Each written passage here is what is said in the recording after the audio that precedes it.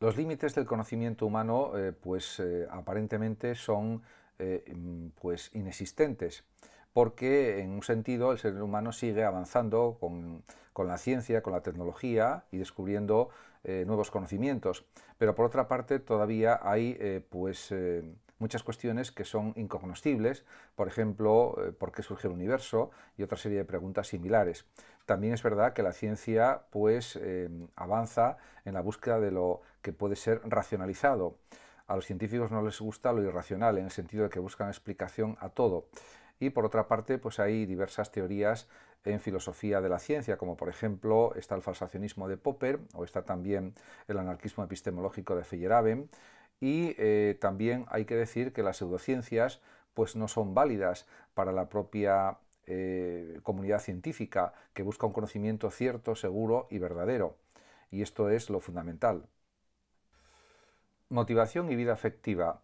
Mm, es indudable que las emociones son estados, eh, podemos decir, afectivos, pero profundos e intensos, acompañados de cambios físicos, corporales, somáticos. En cambio, los sentimientos son, eh, pues, diríamos que estados afectivos, duraderos en el tiempo, pero de menor intensidad en comparación con las emociones. En relación con las motivaciones primarias y secundarias hay que destacar la teoría de Maslow, que habla de siete necesidades que son seguridad, afecto, pertenencia a grupo, propia estimación, información y saber. Y por otra parte también eh, Maslow insiste, este psicólogo norteamericano ya fallecido, en que los motivos secundarios surgen debido a la naturaleza social del ser humano, a su contexto social también. Y eh, también pues hay que decir que hay una raíz del dinamismo conductual de las personas que está eh, fundamentado en el déficit de lo que el organismo precisa para su existencia. Hay necesidades humanas evidentes. Aprendizaje y conducta humana. Incuestionablemente la psicología ha avanzado muchísimo durante el siglo XX y especialmente también en el siglo XXI para comprender las conductas de las personas. Está claro que también eh, pues hay numerosas teorías sobre lo que es el aprendizaje, sobre eh, la capacidad de la memoria de las personas y eh, pues se sabe que mm, hay cambios en el comportamiento porque puede haber también una alteración motivacional en las personas y pues por ejemplo en cuanto a la memorización hay variables de la tarea y la retención para las tareas cortas es mucho mayor y requiere mucho menos esfuerzo que para las tareas mucho más largas. En ese sentido, mm, también, como dijo Ebbinghaus y otros grandes psicólogos, la capacidad de aprendizaje aumenta muy significativamente cuando hay significado en lo que se aprende, cuando se entiende lo que se está aprendiendo. Eso es algo evidente. Pensamiento y lenguaje. Es indudable que el pensamiento es inseparable del lenguaje, pero la relación existente entre ambos es un objeto de muchas discusiones por parte de los filósofos, de los psicólogos, de los lingüistas, etc.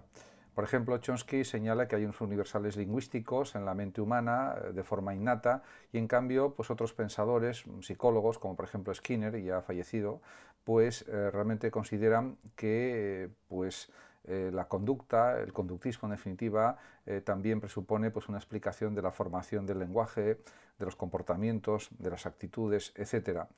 también es verdad que, por ejemplo, para Gobar, pues existen cuatro tipos de pensamiento y esta doctrina la desarrolló en el año 1968. Dice Gobar que hay un pensamiento imaginativo, conceptual, hipotético y especulativo. También Piaget habla de las etapas en el desarrollo de la inteligencia y de la etapa formal del pensamiento.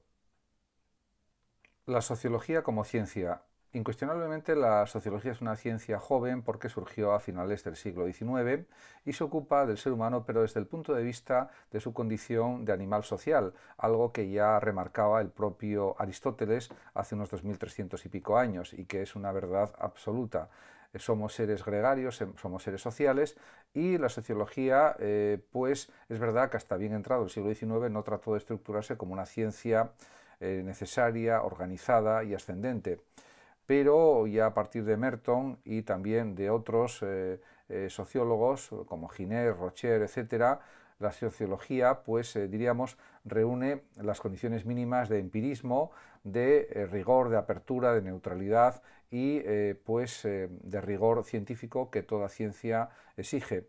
también hay que pensar pues en los trabajos sociológicos de otros sociólogos como Durkheim,